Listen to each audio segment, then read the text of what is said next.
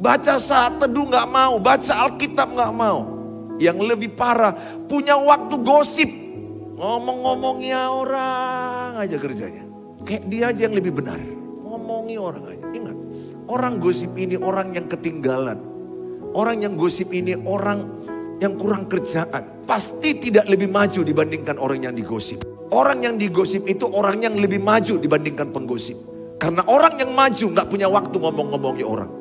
Mazmur 1 ayat 1 dikatakan, jauhilah pencemooh, jauhilah penggosip. Bilang sebelahnya, kalau kau suka gosip pasti ku jauhi, bilang sebelahnya. Bilang sebelahnya, langsung aja tembak dia.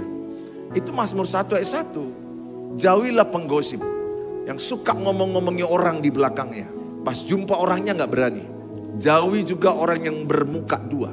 Di depanmu baik-baik ceritanya tentang kau. Di belakangmu kau dianggapnya setan, kuntilanak. Eh, ada orang yang bermuka dua. Gak semua orang senang melihat kau senang. Ada orang yang senang melihat engkau hancur. Gak suka dia lihat kau kalau kau bahagia. Jauhi orang bermuka dua. Itu orang yang munafik. Yang kelihatan di depan membaik-baikkan dirimu. Tapi di belakangmu pokoknya yang paling buruk.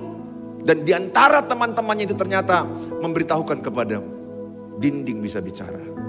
Siapa yang kau bicara-bicarakan itu satu waktu dia tahu dia kau bicarakan.